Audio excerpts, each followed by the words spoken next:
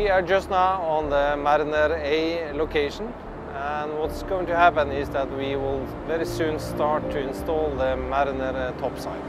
The, the whole topside is split into eight modules plus the flare and the two biggest are over 10,000 ton each. The total weight is about 38,000 tons. We started to plan on these operations back in 2011 and to do a proper planning job you need to have the right people and with the right competence and then you need to put in a lot of work.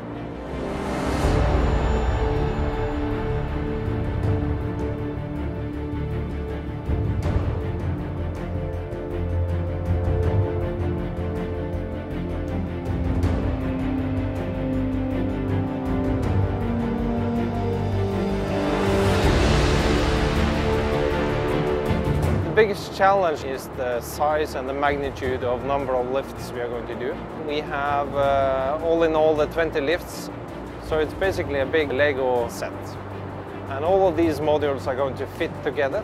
They have never been fitted together before, so when we lift them on board now, that's the first time.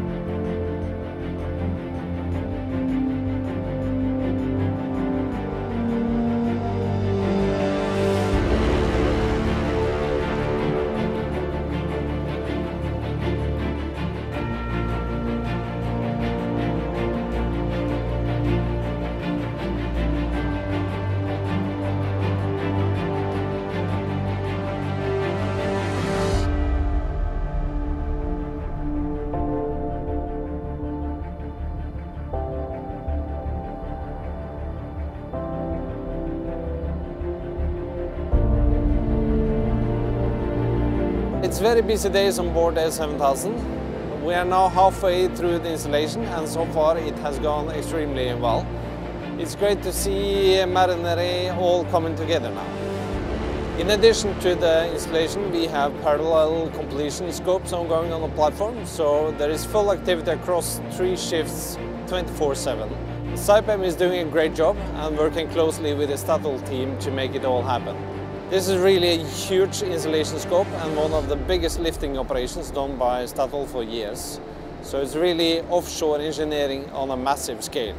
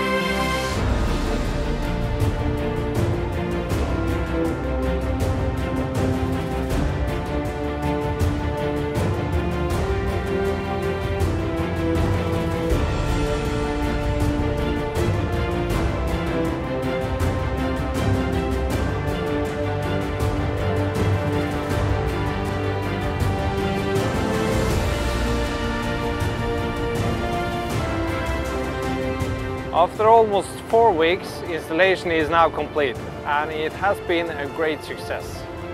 There are so many things which could go wrong in these operations, but we have completed this giant scope without any issues or incidents.